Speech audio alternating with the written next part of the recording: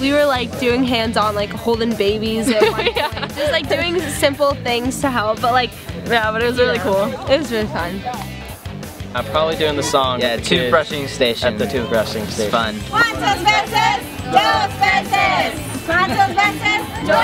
It's really almost fulfilling, even though it's lots of stairs to climb up and hard work. It's definitely worth all of it. It was really awesome just going and interacting with the people. We take life for granted sometimes and we step out of that bubble. And you just get to like feel like their appreciation for what we're doing. We'll never forget this experience. It's been especially nice uh, for me to be along with my daughter. Being with my friends here is really fun. And it made me feel really good just to give that.